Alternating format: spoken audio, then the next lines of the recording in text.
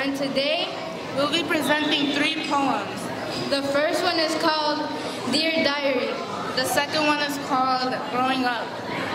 And lastly, First Generation Problems.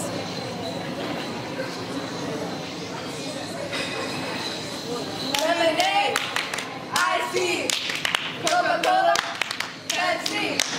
Lemonade, iced Coca-Cola, Pepsi. Turn around, touch the ground, kick it, roll. Being 18 means pressure and being an example for your younger siblings and knowing better. Laughing and laughing and joking about the fact that you're depressed or exposed, like a turtle with no shell, knowing better. Acting your age, not your shoe size. Feeling like the world is on your Head, shoulders, knees and toes, knees and toes. Head, shoulders, knees and toes, knees and toes. Adults always say the wrong things. You're older. You should know better. Why are you stressed? You're told to be acting like that. You're not a kid anymore. What's happening to you? As a teen, you don't know how to say I need a break, I need space, I need help, I'm stuck. I'm Hispanic. and I don't know how to be free. Mamá says, ¿y tú por qué tienes estrés? ¿Tú no pagas biles? Tú no trabajas y tú no sabes lo que se sufre en este país. Being a, being a teenager is a lot. You're always running and trying and failing and learning and healing and growing.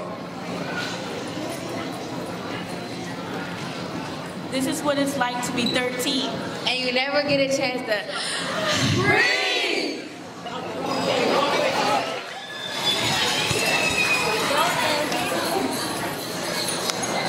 I start? I did. Growing up, a journey we all take from childhood dreams to the choices we make. With each passing day, we learn and we grow, discovering who we are as life chapters unfold. We learn to walk, we learn to talk, exploring the world like a curious hawk. With each new challenge, we rise above, growing wiser with a heart full of love. So embrace the journey, embrace the change. Growing up is never strange. Because in the process, we learn our worth from the time we spend on earth. So here's my message. As your life unfolds and you get old, reach for your goals so your story doesn't go untold.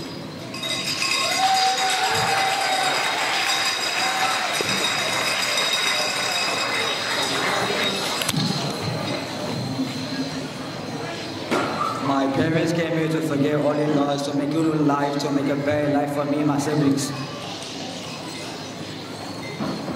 I am the Statue of Liberty, the beacon of hope for those that will come after me.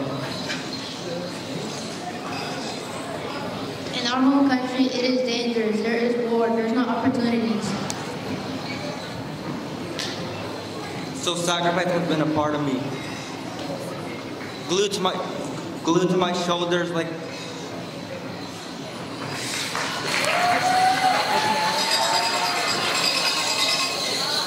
First generation carrying an endlessly burning torch.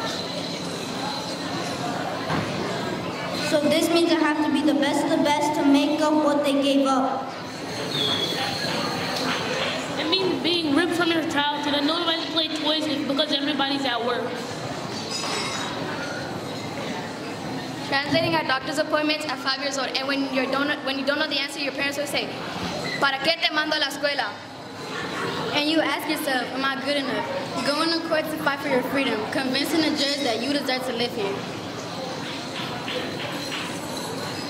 Like trying to stay afloat in the ocean of problems, confusion, and barriers.